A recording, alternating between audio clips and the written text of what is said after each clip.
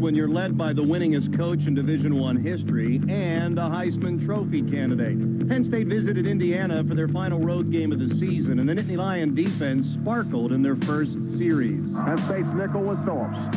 Drop play, Washington wraps up and dropped for a loss by Derek Foles. Back to the pass, split, pressure, runs right into John Bronson, who holds him down for a loss back at the 15-yard line. A quick three and out, exactly what Joe Paterno wanted from his defense. Despite the cold in Bloomington, Paterno also got exactly what he wanted from his offense.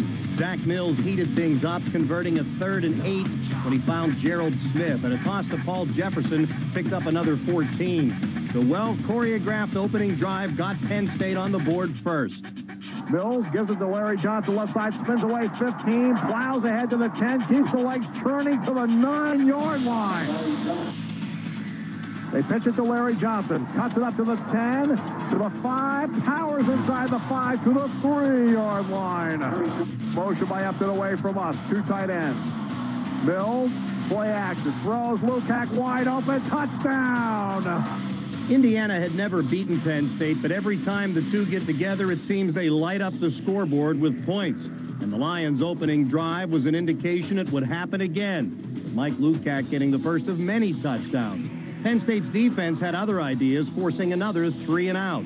Back goes Jones. He sets. He has time. Long and deep far side Spencer. Knocked away by the left hand of Anwar Phillips and incomplete.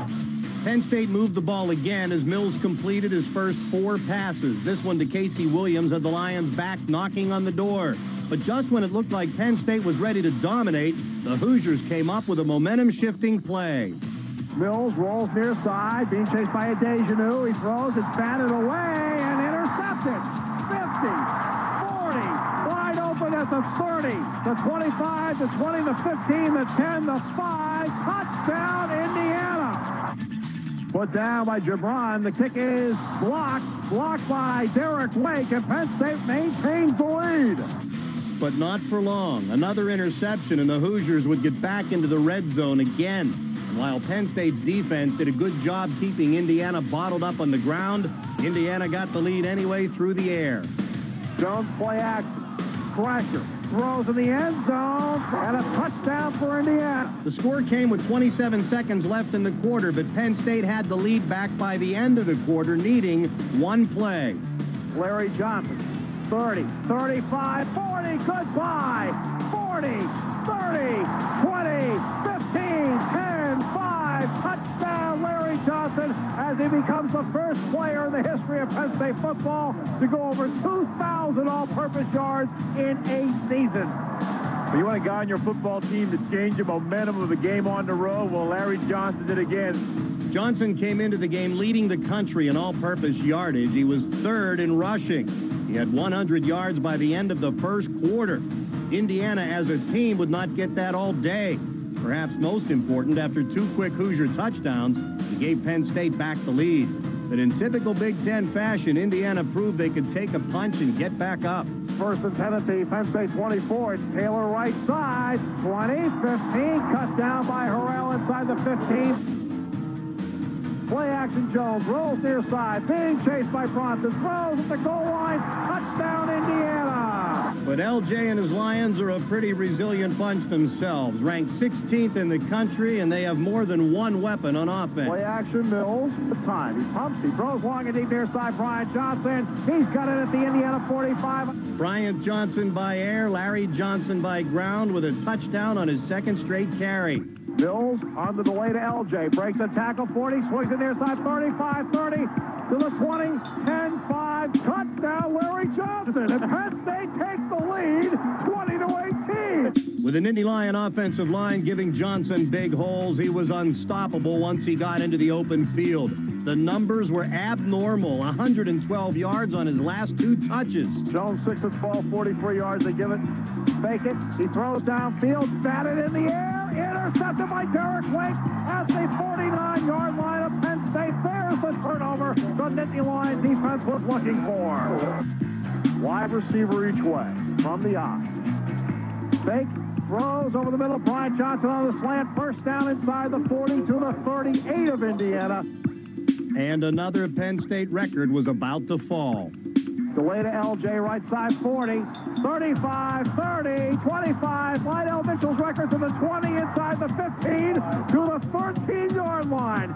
Larry Johnson sets a new single-season standard for rushing for the Nittany Lions, surpassing Lydell Mitchell's record of 1,567 yards back in 1971. Bryant in the slot. Good snap by Iorio. Back goes Mills with time in the end zone. Casey Williams, touchdown Penn State. Three straight possessions produced touchdowns and only eight total plays, barely covering three minutes. And it wasn't just the offense working hard and chasing records. Third down nine. Back goes Jones. Here comes Haynes and throws it down with Bronson back at the 38-yard line. Michael Haynes leads the Big Ten in sacks and is now just two away from breaking Larry Kubin's single-season Penn State record. The Nittany Lion defense was smothering as well as bruising. Jones back to pass. Looks. Batted down by Anthony Adams. It's fourth down. The Penn State defense comes up with a big stand. The Penn State defense came up with a big half, allowing Indiana just 89 total yards. The Lions made some mistakes, but they overcame them, and you kind of had the feeling the show was just getting started. Penn State had already set an NCAA record for attendance for the season, but Indiana provided only a sparse crowd. Still, the game was nationally televised, and the Lions went about their business. They took the second half kickoff and got the ball back into the hands of Larry Johnson, picked up right where he left off. And Mills to LJ first down, 45, 50, to his right to the 40, far sideline, 30, 20, dragged out from behind at the 17-yard line.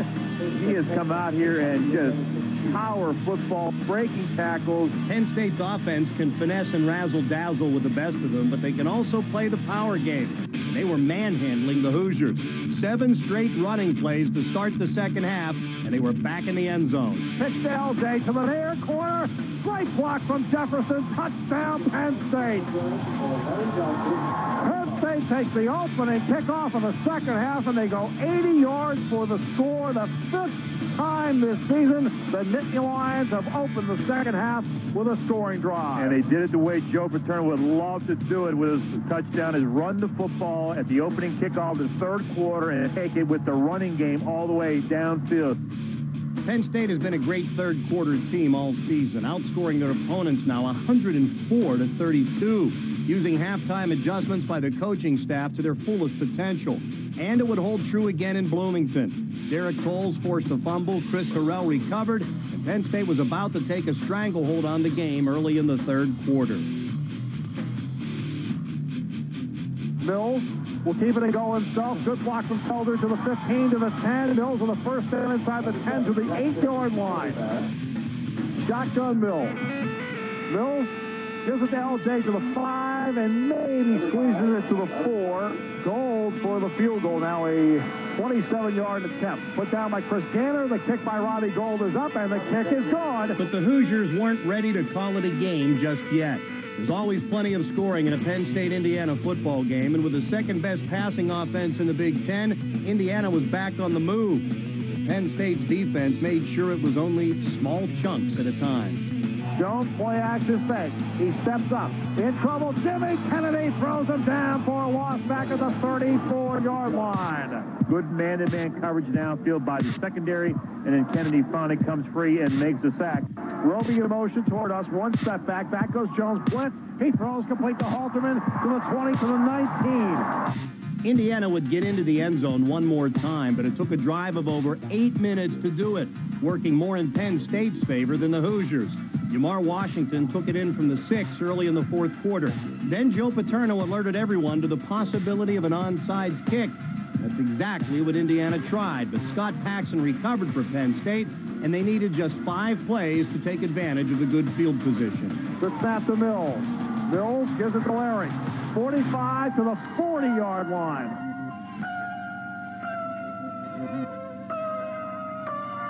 Play Johnson. 40, Flecker, 35, 30, 25, 20 to the 15, the 10, the 5.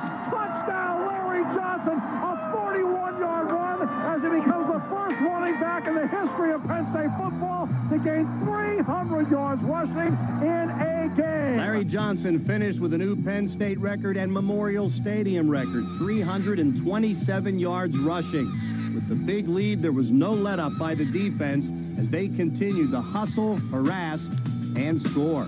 Set, throws over the middle, intercepted Richard Gardner, 35-30, far sideline, 25-20, 15-10 to 5, touchdown Richard Gardner, his second interception of the season, and his second touchdown of the season. And they weren't finished yet. The Hoosiers barely had the ball back when the Nittany Lions took it off of them again. This time with an Anwar Phillips interception that he returned to the Indiana 18-yard line. With the game well in hand, Joe Paterno gave some of his backups a chance to play, and they picked up right where the starters left off.